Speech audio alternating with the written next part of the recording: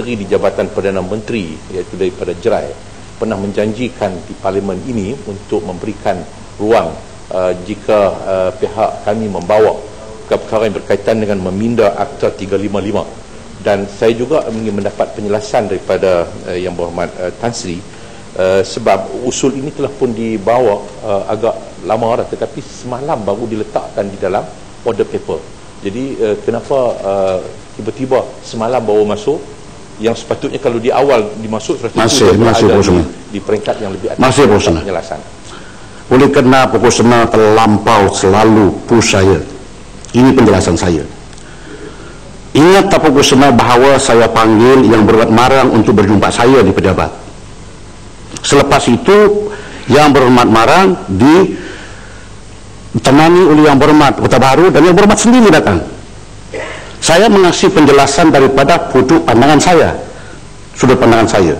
Dan penjelasan itu saya sudah bagi kepada yang berhormat ketiga. Alasan sudah saya beri kepada yang berhormat. Tidak perlu orang lain dengar alasan saya dalam jiwan ini. Oleh kerana semata-mata mungkin yang berhormat sendiri mempunyai agenda politik. Jadi oleh kerana yang berhormat bertanya juga usul yang dibawa oleh Marang itu yang menepati peraturan masyarakat itu sebab saya masukkan di dalam agenda paper sekali lagi.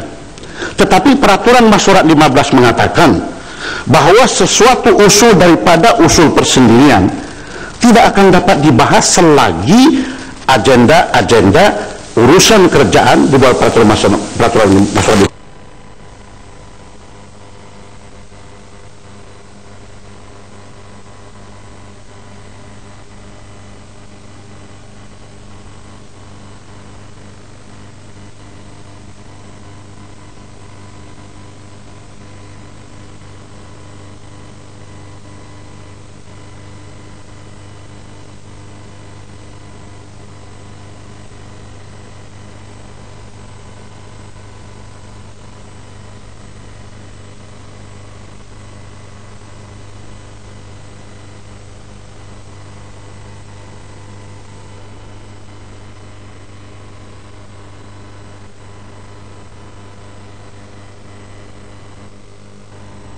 Sila.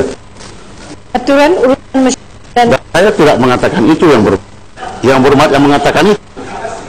Itu interpretasi yang berhormat. Tasri, Tasri mengatakan bahawa hanya apabila uh, uh, pihak kerajaan memberikan laluan. Bermakna bahawa pihak kerajaan tidak memberikan laluan sebab itu. Itu interpretasi yang berhormat bukan saya. Ya, ya, ya. Ya, ya, ya okey. Jangan itu libatkan saya yang berhormat. maksudnya. Karena peraturan masyarakat juga mengatakan bahawa jangan libatkan speaker dalam mana-mana hujah saya tidak melibatkan speaker tetapi uh, cukup jelas penjelasan ah, itu itu pendirian dan interpretasi yang berhormat bukan saya. Saya tidak ada sebut itu. Terima kasih. Terima kasih. Itu bukan pendirian kerajaan yang berhormat.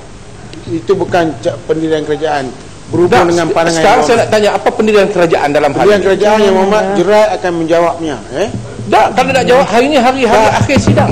Tak nak, nak nak nak tunggu sidang bila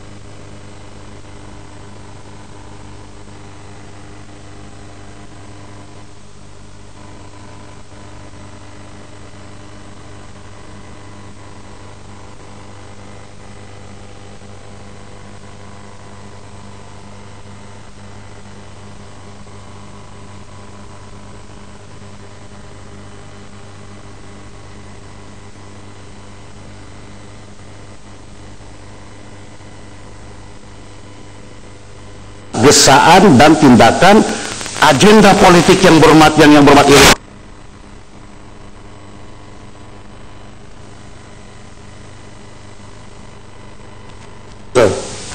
Aturan usaha mesyuarat dan kalian 2015 yang